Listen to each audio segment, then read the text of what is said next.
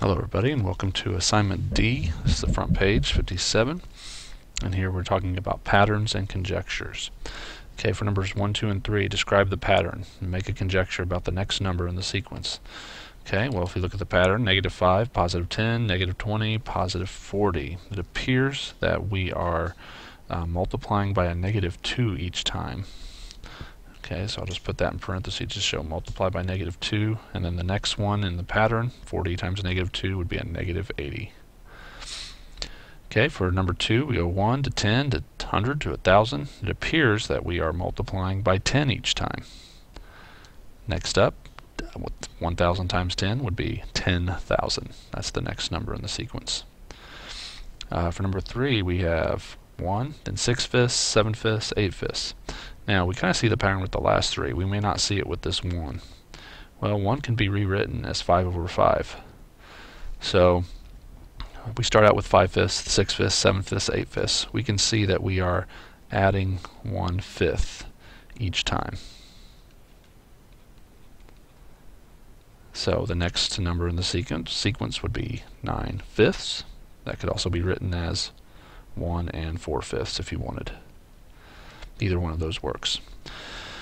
Okay, for number 4, 5, 6, and 7, it says, make a conjecture based on the given information. Draw a figure to illustrate your conjecture. Okay. Um, points A, B, and C. Okay, well, we should probably plot those points. We'll draw a quick coordinate plane here, just so we can kind of see where they would lie. Okay, now I'm not going to be exact here. I'm just going to approximate. Negative 1, negative 1. It's about right here, A right 2 up 2 would be B, right 4 up 4 would be C. Oh, they all appear to be on a line. So my conjecture would be that points A, B, and C are collinear. That's my conjecture. A, B, and C are collinear. after drawing the picture, we can see that that conjecture that I just made seems to be true. Okay, number five, angles 1 and 2 form a right angle. Okay, well, draw a picture of that. Here's a right angle with the symbol. And I'll make angles 1 and 2 from that. Here's angle 1, here's angle 2. Okay, and since those are a right angle, I'm going to make a conjecture. I'm going to say they are complementary. Angles 1 and angles 2 are complementary. That's a conjecture based on the information.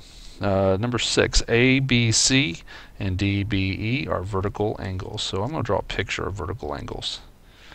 Line, line, and apparently B here is in the middle. That is the point of intersection. And let's put A here. Let's put C here. So there's angle ABC. DBE, here's D, here's B, and here's E. So yeah, I have the situation. These two angles are vertical. So uh, I'm going to make a conjecture on that. If I have vertical angles, I'm going to say um, those two angles are congruent. Uh, angles A, B, C is congruent to angle D, B, E. There's my conjecture based on the information. Uh, angles E and F are right angles. Okay, I'll draw angle E.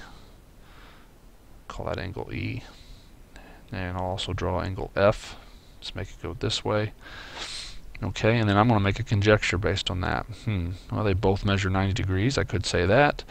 Uh, they both um, are congruent. I can say that. Either one of those works. I'm going to go with angle E and angle F are congruent. And there's the congruent symbol.